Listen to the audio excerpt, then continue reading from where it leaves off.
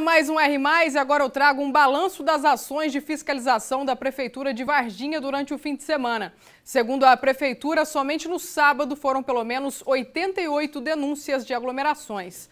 Várias fiscalizações, inclusive com o apoio da Polícia Militar, aconteceram dentro da cidade e também na zona rural. 17 estabelecimentos comerciais foram interditados e oito multados por descumprimento das medidas estabelecidas no decreto municipal, como, por exemplo, a venda de bebidas alcoólicas, aglomeração e a falta de uso de máscara. Ainda no fim de semana, o prefeito de Varginha, Verde Lúcio Melo, anunciou a ampliação de leitos e alterações na UPA em Varginha. O objetivo é melhorar o atendimento aos infectados pela Covid-19. Vamos ver. Estamos aqui na UPA Varginha para informar a população que nós fizemos aqui importantes alterações no sistema de atendimento aos pacientes. Essas alterações, consequentemente, elas vão aumentar o número de CTI e também de enfermaria.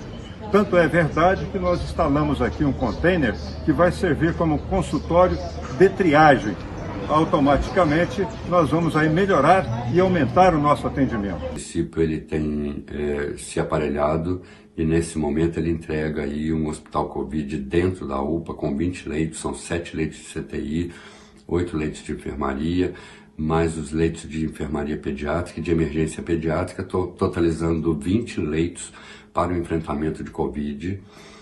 E o outro braço da UPA mantendo o atendimento não Covid com 15 leitos. Isso tudo se soma à estrutura do hospital de campanha, que tem 20 leitos de CTI e 30 leitos de enfermaria, mas todas as, as estruturas. Eu fico por aqui, um grande abraço para você, se cuidem, tchau.